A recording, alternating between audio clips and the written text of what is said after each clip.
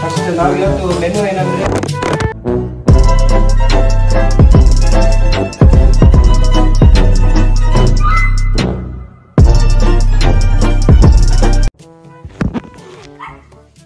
ಹೇಳುವಾಗ ಮೊಬೈಲ್ ಏನು ಮಾಡುವುದು? ಮೆನು ಏನಂದ್ರೆ, ಅಯ್ಯೋ, ರೋಗಿ ಚಿಕನ್ ಗೀ ರೋಸ್ಟ್ ಅದಾದ್ಮೇಲೆ ಚಿಕನ್ ಸಾರು ಅದಾದ್ಮೇಲೆ ರಸಮ್ ತೊಂಡೆಕಾಯಿ ಪಲ್ಯ. ಇಡ್ಲಿ. ಇಡ್ಲಿ ಸಾರಿಗೆ. ಅದಾದ್ಮೇಲೆ ಬಾಯ್ಲ್ಡ್ ರೈಸ್ ಆಮೇಲೆ ಸ್ವೀಟ್ ಇದೆ ಸ್ವೀಟ್ ಮಾಡಕ್ಕಿದೆ ನೀವು ಅದಾದ್ಮೇಲೆ ಎಂತ? ಐಸ್ ಕ್ರೀಮು ಯಾರೆಲ್ಲ ಫ್ರೀ ರೂಬಿ ಯಾರೆಲ್ಲ ಫ್ರೀ ಇದ್ದೀರಾ? ದಯವಿಟ್ಟು ನಮ್ಮ ಮನೆಗೆ ಬನ್ನಿ. ರಾತ್ರಿ ಎಂಟು ಗಂಟೆಗೆ ಶಾರ್ಪ್ ಬಾಗಿಲು ಓಪನ್ ಮಾಡಿ ಇರ್ತೀವಿ ಅಯ್ಯೋ ರೂಬಿ.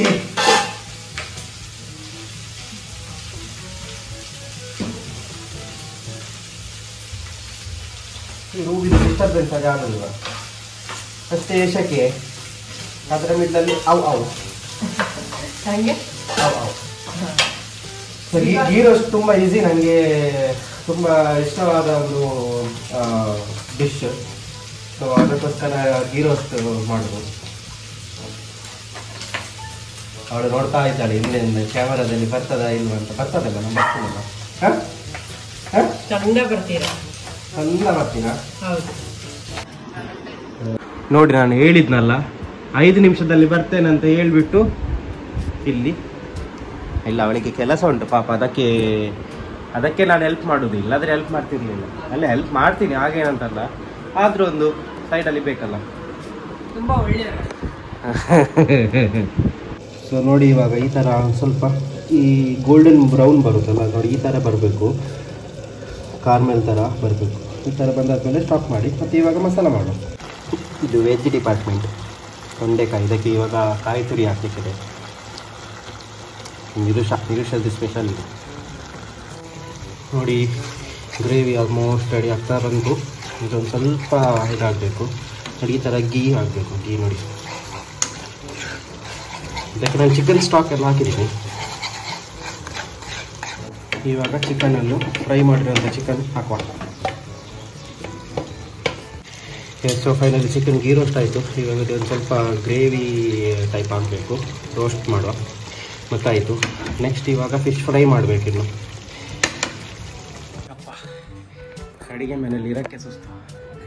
ಶಕೆ ಅಂದರೆ ಶಕೆ ಆಗಲ್ಲ. ಸೊ ಇವಾಗ ಒಂದು ಐಟಮ್ ಆಯಿತು ಫೈನಲಿ ಆ್ಯಂಡ್ ಒಂದಲ್ಲ, ಎರಡು ಐಟಮ್ ಆಯಿತು. ಒಂದು ಚಿಕನ್ ಆಯಿತು, ಮತ್ತು ತೊಂಡೆಕಾಯಿ ಪಲ್ಯ ಆಯಿತು. ಇವಾಗ ಫಿಶ್ ಫ್ರೈಗೆ ಮಸಾಲ ರೆಡಿ ಮಾಡಿ ಇಟ್ಟಿದ್ದೀನಿ. ಸೊ ಫಿಶ್ ಫ್ರೈ ನಾವು ಆಮೇಲೆ ಮಾಡಬೇಕಂತ ಡಿಸೈಡ್ ಮಾಡಿದ್ದೆ ಯಾಕಂದರೆ ಅದು ಬಿಸಿ ಬಿಸಿ ತಿಂದು ಚೆನ್ನಾಗಿರುತ್ತೆ. So that is Mangalore special so ಅದು ಮದಿಮಲ್ ಫಿಶ್ ಅಂತ. ಅಂದರೆ ಮದುಮಗಳು ಮೀನು. ಸೊ ವಿ ಬಾಟ್ ದ್ಯಾಟ್ ನಾನು ಇಲ್ಲಿಂದ ಮಾರ್ಕೆಟಿಂದ ತಂದಿದ್ದು. ಸೊ ಇವಾಗ. ಚೆನ್ನಾಗಿರುತ್ತೆ ಟೇಸ್ಟ್ ಚೆನ್ನಾಗಿರುತ್ತೆ. ಆ್ಯಂಡ್ ಕೆಲವರು ಅದನ್ನು ಡಿಸ್ಕೋ ಫಿಶ್ ಅಂತ ಹೇಳ್ತಾರೆ. So it's very nice tasty fish next ಏನು ಮಾಡೋದು? ಆಮೇಲೆ ಒಂದು ಸ್ವೀಟ್ ಏನಾದರೂ ಮಾಡಬೇಕು. ಮತ್ತೆಲ್ಲ ರೈಸ್ ಅದೆಲ್ಲ ಐಟಮ್ಸ್ ಎಲ್ಲ ಫುಲ್ ಆಲ್ರೆಡಿ ಆಗಿದೆ. ಲೆಚ್ಚಿ ಹ್ಯಾವ್ ಹೌಸ್ ನಾನಂತ ಅಡುಗೆ ಮಾಡಿದರೆ ಕಿಚನ್ ಅವಸ್ಥೆ ಇಷ್ಟೇ. ನೋಡಿ.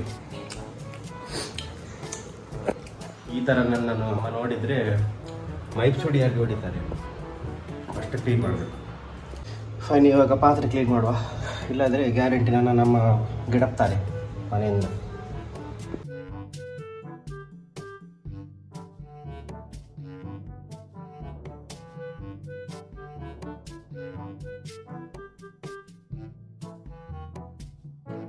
ನೋಡಿ, ನನ್ನದು ನಾನ್ ವೆಜ್ ಊಟ ಆಯಿತು. ಇವಳಿದ್ದು ತೊಂಡೆಕಾಯಿ ಇನ್ನೂ ಕೈಲಿ ಅದೇ ಸ್ಮೆಲ್ ಚೆನ್ನಾಗಿ ಬರ್ತಿದೆ ಸೀರಿಯಸ್ಲಿ ಚೆನ್ನಾಗಿದೆ. ಸ್ವಲ್ಪ ಬೆಂದಾದಮೇಲೆ ಕಾಯಿ ತುರಿ ಹಾಕೋ ಅವಳು ವೆಜ್ಜಲ್ಲಿ ಎಲ್ಲ ತುಂಬ ಎಕ್ಸ್ಪರ್ಟ್ ಚೆನ್ನಾಗಿ ಮಾಡ್ತಾರೆ ಓಕೆ ಫೈನಲಿ ಕ್ಲೆಂಟ್ ಸೀರಿಯಸ್ಲಿ ಇವತ್ತಿನ ವೀಡಿಯೋದಲ್ಲಿ ನಾನಂತೂ ಫುಲ್ ಖರಾಬಾಗಿ ಕಾಣ್ತಿದ್ದೀನಿ.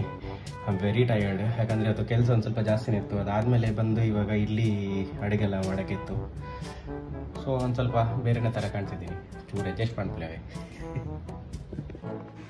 ಓ ಮಾವಿನಕಾಯಿ.